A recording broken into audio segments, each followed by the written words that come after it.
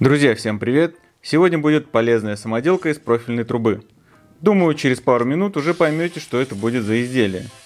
А пока нарезаю 4 куска трубы 50 на 50. В моем случае размеры будут 2 штуки по 250 сантиметров и 2 по 180.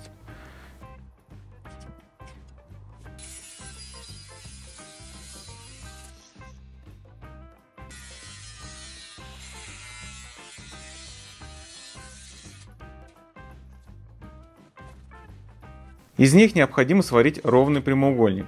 Занятие такими вещами на улице и в снег, мягко говоря, не веселило, но варианта не было.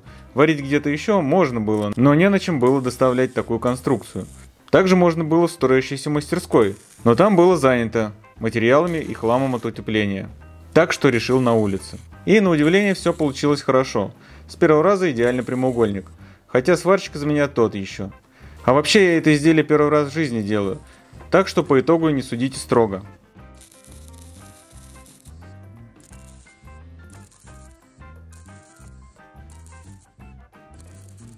Далее взял трубу 50 на 25 и нарезал на куски 4 по 210 и 4 по 90 сантиметров.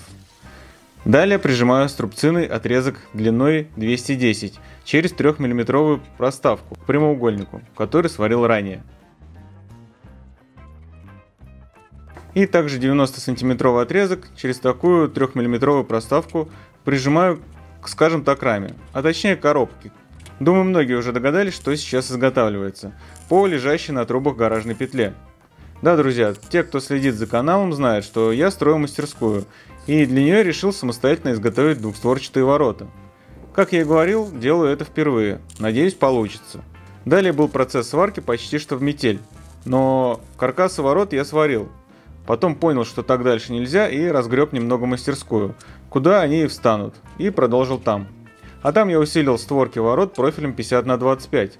Сделал это специально не внутри, так как хочу, чтобы внешняя отделка фасада была в одном уровне с отделкой ворот. Все это будет обшиваться планкеном, дальше покажу. Также ворота буду утеплять, и створки ворот будут утеплены полностью целым слоем.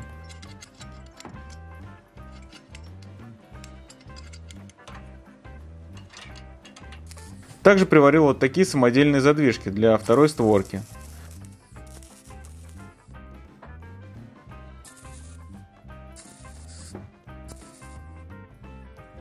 А пока покрашу все черной грунтэмалью, Оли Color 3 в одном. Кто-нибудь пользовался такой? Напишите пару слов в комментариях, как она.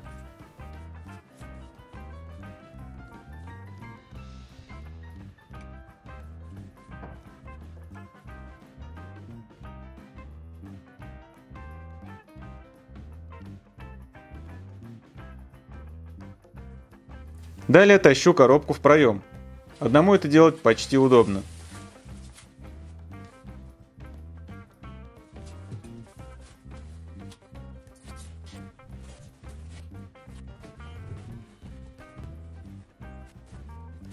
Временно фиксирую ее струбцинами. Далее засверливаю ступенчатым сверлом, чтобы прикрутить коробку глухарями. Для этого необходимо сделать внутреннее отверстие на 8 мм, а наружнее под 18 чтобы залезла головка глухаря и бита. Зафиксировал коробку на 4 глухаря. Потом добавлю еще два сверху. Этого вполне хватит. Щели потом запеню.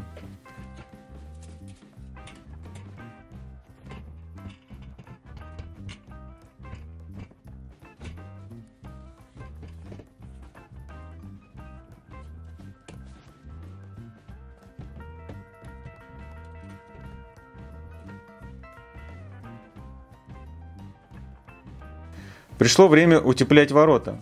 Для этого буду использовать пеноплекс 50 мм. Как вы видели на видео, мастерская утеплена по стойкам также пеноплексом. Так что и ворота, очевидно, будут утеплены этим материалом. С этим материалом работаю уже давно. Утеплял и фасад дома, и балкон, делал домик для кота и даже лодку. Не было никаких замечаний, ни разу.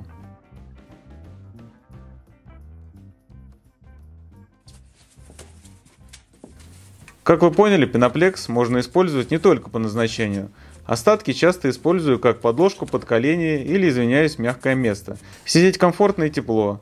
Также кладу на него инструмент, если работаю на улице. Тогда он не валяется где попало, не пачкается, не мокнет. А упаковка от пачек пеноплекса дополнительно у меня служит мусорным пакетом. Короче, безотходное производство. Мне нравится. Утеплил ворота буквально за 20 минут. Пропенил все стыки и швы.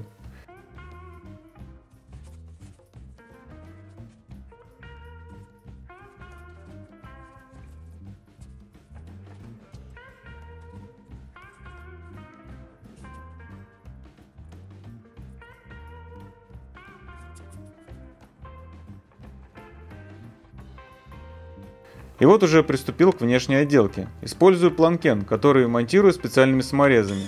Они почти не видны. Планкен монтирую вертикально, с зазорами 4 мм. Зазор удобно выдерживать угольником Свенсона, как на видео. У меня он как раз 4 мм.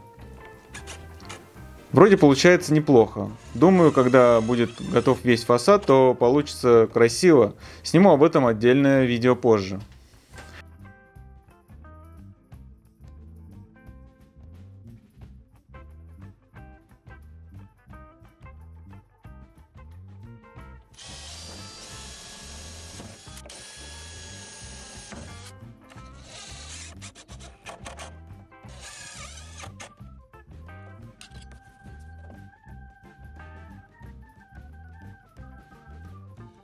А пока продолжу с воротами.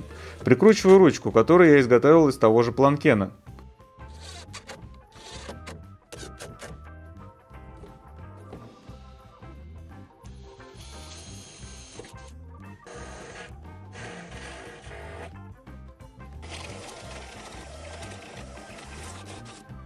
В качестве защелки буду использовать вот такой шариковый механизм, чтобы ворота не открывались а над ручкой установил задвижку. Получается конкретное строение в стиле барн, то есть амбар. На задвижку повешу, конечно же, амбарный замок. По-моему, неплохо получилось. Изнутри пока ничем не буду отделывать, так как пока не знаю, чем буду зашивать стены. Либо ОСП, либо МДФ панели. Пока не решил. Но внутренняя отделка ворот будет выполнена из того же материала, что и стены. Друзья, вот такие необычные ворота получились. Может, конечно, кто-то скажет, что их легко выломать и прочее, но при желании, конечно, можно и стену выпилить и залезть. Если вам понравилось видео, то ставьте лайк и в комментариях напишите свое мнение, нормально получилось или нет. А те, кто еще не подписан на канал, обязательно подписывайтесь, чтобы не пропускать новые и полезные видео. Всем спасибо за просмотр и до новых встреч!